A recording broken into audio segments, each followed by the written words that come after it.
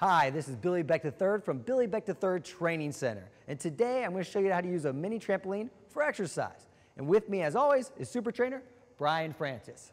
Now, traditionally, the mini trampoline has been used for exercise just by walking or marching in this fashion. And it's, it's great for reducing the impact on your joints. But some people take it up a notch and then they run or bounce on it like Brian's doing right now. But today we're going to show you some movements that very little people know about, but we take the main trampoline and use it for advanced movements. So the first movement we're going to use is a single leg squat. You're going to begin by taking a, your one foot in the middle of the trampoline, very important, and then with a good tall posture, coming down and touching your opposite toe with your opposite hand.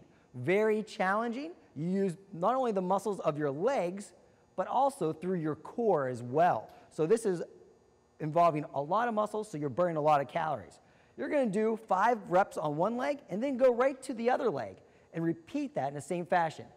The second movement, you're going to step forward. Your rear foot will be elevated on the mini trampoline, and you're going to perform what's called a Bulgarian split squat.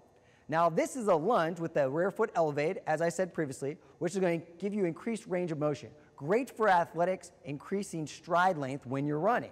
Now you're going to perform 10 reps on each leg, being sure to stand with posture as if you're standing as if you were a superhero.